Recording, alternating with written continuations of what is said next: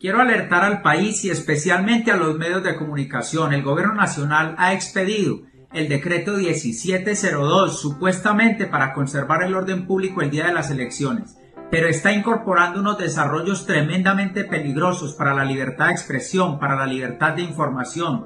El artículo 3 está vulnerando directamente la libertad de información de los medios de comunicación. Dicen que solo pueden informar lo que les confirmen fuentes oficiales, como quien dice, pídale primero permiso al gobierno, pregunte con el gobierno y después informe. Eso en una dictadura, nunca en una democracia. Más otros elementos que se presentan tremendamente complejos, como la libertad de grabar en los puestos de votación y otros asuntos que denunciamos porque es un decreto que tiene tintes dictatoriales que restringe la libertad de información, la libertad de expresión y eso no se puede permitir en una democracia.